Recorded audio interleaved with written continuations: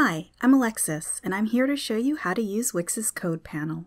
Wix is a powerful website builder that gives you all the tools to create your own customized website, either from scratch or using a template. Traditionally, you would have to create each of these elements by writing code in HTML and CSS. Wix's in-browser visual editor allows you to build a website quickly and easily. Just drag and drop Wix elements like images, buttons, and text directly onto web pages. After setting up the elements with the Wix editor, we can add further customization to our site by writing custom code using Wix's development platform, Velo. This panel enables us to write JavaScript and Wix-specific code for a website. Two tabs, Master Page.js and the Page Code tab, allow you to apply code either to a specific page of a website or the entire website.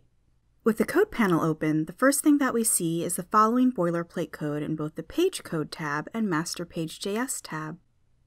The code we'll be adding goes under the to-do comment.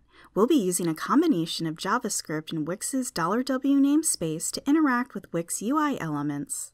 At the bottom of the editor in the Code panel, the Page Code tab should be open by default. Placing code under the Page Code tab ensures that it will only run on that particular page of the website. We'll test this out by printing a message. We'll first create a constant variable called greeting. Under that line, we can use the JavaScript console log function to print the string we stored. Now, we need to preview the website to see the code in action. Click on the Preview button in the upper right-hand corner and your browser will display your website as a user would see it. Click on the Developer console and it should open, if it's not already opened, and display the string stored in greeting which reads Hello from the home page. Click on some of the other pages of the website in the preview. Notice that the message, Hello from the home page, prints only in the Developer console when the home page is visited. Let's see the Site tab in action now. This time, we'll use code that prints a specific message based on what page we're on using the $W selector.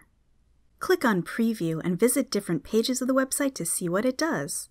A message with the name of the current page you're viewing and the website is printed in the Developer console for all the pages of the website.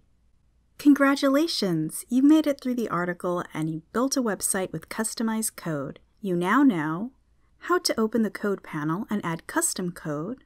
The $W namespace allows you access to Wix editor elements. How to preview your website in code in the Developer console. You're now familiar with all the tools to create all sorts of websites. As a next step, we encourage you to take what you've learned here and learn more about the $W namespace in Velo to try to build a website under your own Wix account.